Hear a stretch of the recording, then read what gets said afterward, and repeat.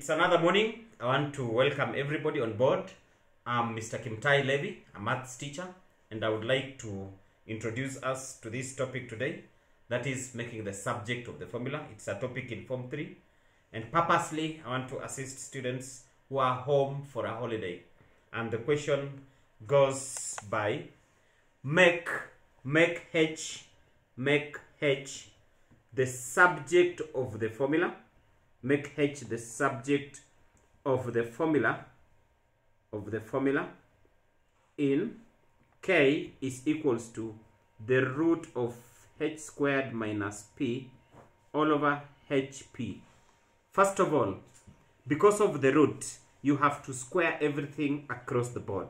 That is k squared introduce 1 is equals to h squared minus p all over h squared p squared. And how do you remove the denominators? You remove the denominators by multiplying both sides by the LCM of 1 and h squared p squared is h squared p squared.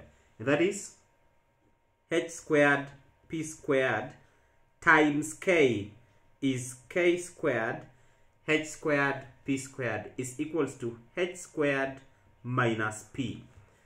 The second step, collect the like terms together. We are interested with this h. We shall say k squared h squared p squared minus h squared is equals to negative p.